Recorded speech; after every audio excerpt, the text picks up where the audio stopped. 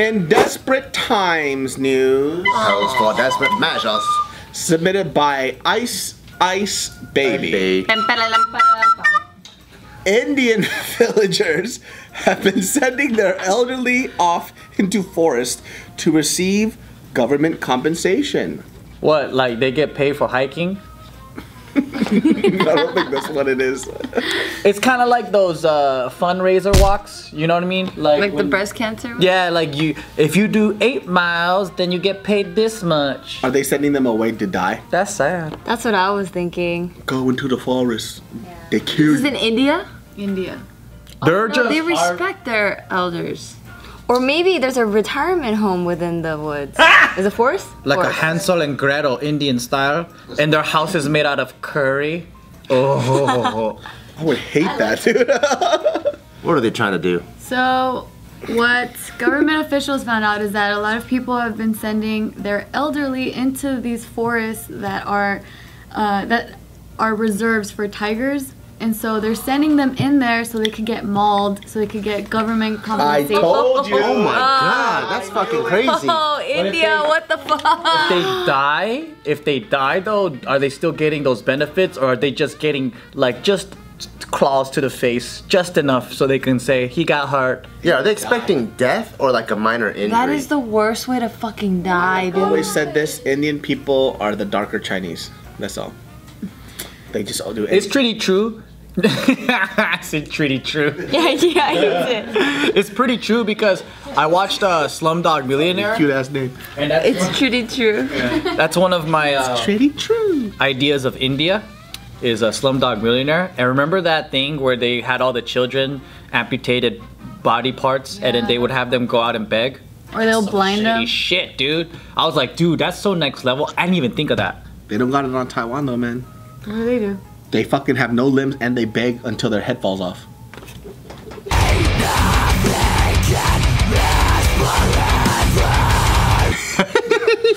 I'm not even exaggerating. That's like legit what they do. There's a guy when I went into a restaurant and I came out, he started doing this, and I came out still doing it.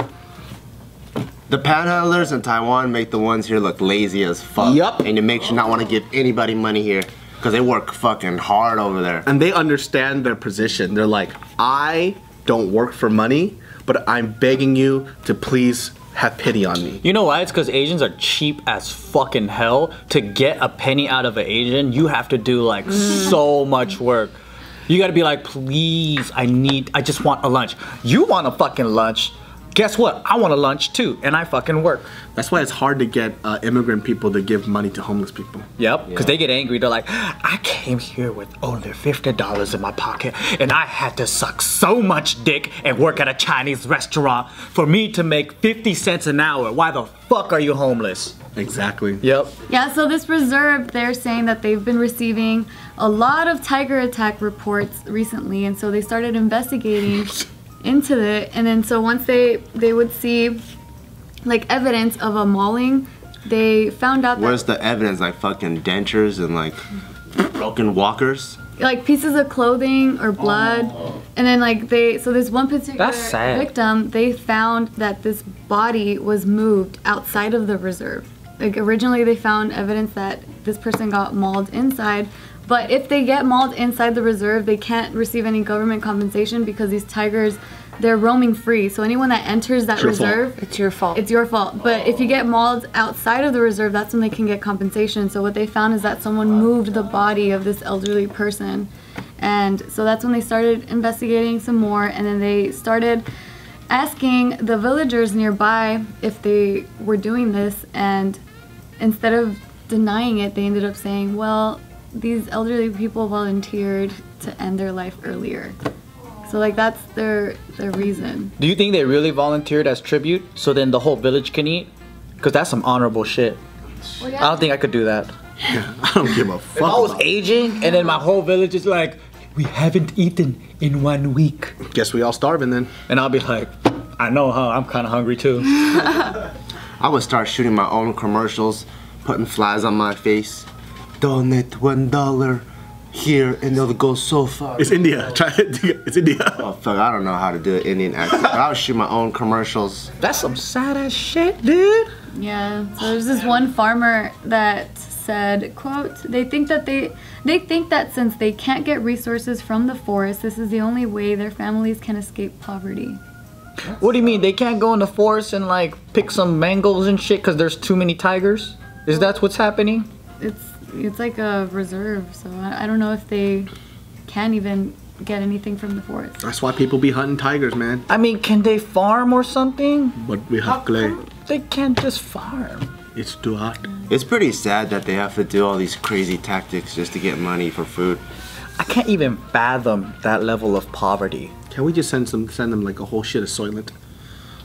I know because like you know how like we have our fucking struggle stories being lower middle class, boo fucking who, right? And I hear these stories of like, you know, like uh, I was a child soldier and uh, they forced me to kill other people at the age of seven, and they gave me some fucking gunpowder mixed with heroin and told me to snort that fucking shit.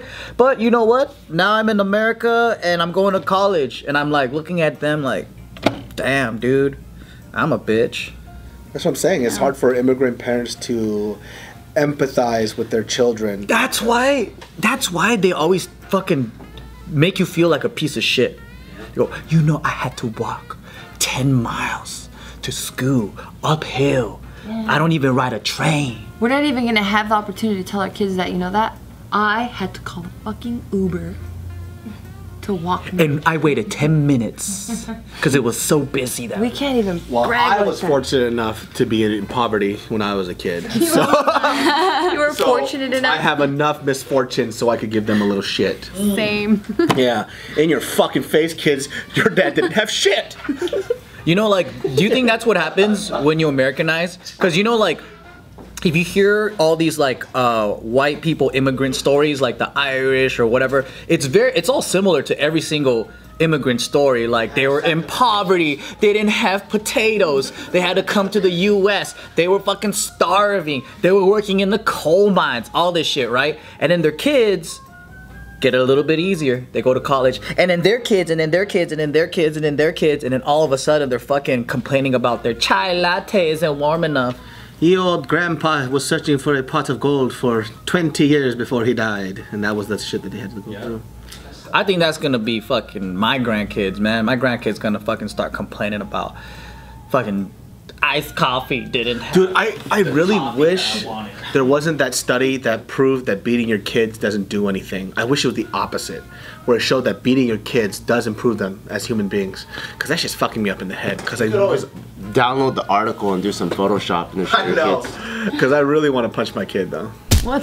At least once. They're your kid. You own them. Do whatever you want. Yeah, but you know, if like psychological, now that I know that it doesn't do anything for them, You don't want to do it. exactly. But So wait, what what do people do if they don't beat their kids? Like how, think- they I just think- talk to them like a lot. I feel like discipline in relationship starts at an early age, you know? Because when I see my cousin talk to his kid, he doesn't have to hit his kid, but the kid respects him enough. They make they become more intelligent. Yeah, and he's like, hey, go to the corner. Ah! You know, he's like, How cute. yeah, they go to the corner and he's like, he thinks like the whole world is gonna end and shit. How old is he? The kid's three now. Oh. Yeah. Cause like he said he spanked him once. this fool's such a little punk. He spanked him once. He hit him in the butt. He goes, "Hey, then go to your room, right?" And he spanks him in the butt. And as this fool said, he turned around. and He started crying because he felt so bad that he hit his kid. Like, like legit, he had like tears. Yeah, he was like, because he felt terrible. But you think you're gonna smack your kid? Probably. I You will? don't know. Can I beat your kids? Yes. Cool. I might do the little like up to a certain age, like, hey, don't do that. Yeah, I think that's what I'm gonna do. Nah, I'm gonna put pads and gloves on, and I'm like, we're fucking going, homie. no, you don't know how to walk yet? But I don't give a fuck. Come on, crawl. fucking overcook that fucking baby. Just kidding. Kids are fucking cute. At least I have no teeth to lose. I know. Oh, that's We'll be right. grappling then. Fucking got you under your naked, bitch. You're trying to dislocate their arm. They're so fucking like They're all like limb. babies are so cute. Did you ever spank Isaac? Uh, A little bit. Here I'm. Mexican. I mean, what do you Yeah. think? That's what I'm saying. It's like, Like, what do you So the belt. Mexican And the chancla. equals sandals and Like I don't want to be incriminated. I mean, it's I don't I think that's just different types of parenting. Like I say I'm I'm not gonna want to spank my kid, but I feel like I'm going to. But I don't want to do it to the extent that my dad did, where he threw a chair at me and shit. But I will. See, that's how kids become soft. I bet you that Irish immigrant used to be, get drunk and beat the fuck out of his kid. and his kid said, I'm not gonna do that, and maybe I'll just spank in a butt. And then his kid said, I'm gonna fucking not do any of this, and I'm just gonna talk to my kids. And then they just keep going down the line like that. and then, That's good. There's no anger issues. No, they get soft though. That's the problem. but the thing is, I'd rather have a soft person than someone with fucking PTSD and No, shit. they're, they're gonna get run over by the world. That's the problem. but the thing I don't think is, so. now they're complaining about their chai latte not being hot enough. Uh, there's got to be balance, okay? Balance. Yeah, because I I agree. Like I see Isaac, he's getting soft, and I'm just like, dang it, was it You want us to fuck him up? I'll fuck his ass up. No, I'm not saying I want him to get his ass beat, I- but now I am can't thinking, hit that kid. I fucking love that. shit. Hug You him. guys are bros. I'm gonna hug him up. No, that's why Casey and I have been talking, and like uh, with his dad too, because the three of us we work as a team to parent, and so we've been thinking like, Dude, that's that's like a threesome, but like not even sexual. it's parental. Yeah. yeah. Parental threesome. So we're like trying to look into putting him into some martial arts, so then at least the third person can give him like different kind of discipline, because he gets discipline from Casey and I at home, and then he, I don't know what his dad usually does, because he tells me one thing, but he could be doing another. So I don't know what kind of discipline he's getting over there, and Muay Thai. You should put him in Muay Thai.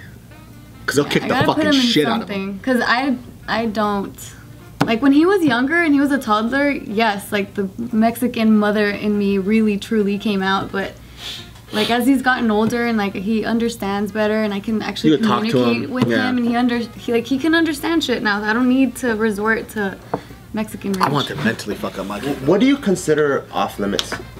Like, let's say the kid's talking shit, guy or girl, doesn't really matter. Oh, he's getting slapped. But if I pick them up by their neck, No, that's off limits. Why? Okay, well let's let's put it like this then. I haven't even socked them yet. I'm the kid. I'm the kid, right? never. And I look at Bart and I'm like, "Fuck you, Dad." or what if the kid is like, "Fuck you, mom, you fucking bitch." That's so cute. Oh, fucking shit. Then can I go? May I do the honors? Well, you make it sound like it's day and night. Yeah, I'm fucking sick of this shit. I'm a grown fucking man, all right? I'm fucking 12. Get the fuck out of my face. It wouldn't happen like that. You don't know though. room, know that. No, you don't, because kids go crazy sometimes. They do go What if they crazy. go, get out of my room, mom? you can already start seeing signs. and start recording.